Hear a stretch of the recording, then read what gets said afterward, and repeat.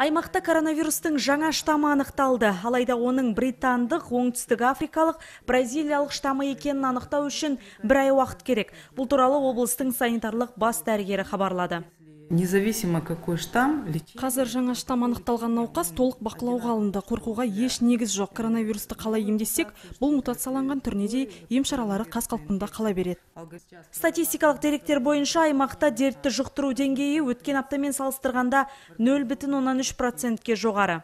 За сутки зарегистрировано 48 лабораторий. өткен тәулікте 48 адам қауіпті індет жұқтырған. Оның ішінде симптомды 36 симптомы жоқ 12-сі тіркелді. Оқушылар арасында аурудың төрт жағдайы анықталды. Көкшетау қаласы мен степногорск бурабай зеренді сандықтау аудандарында ауырып жатқан оқушылар саны басым.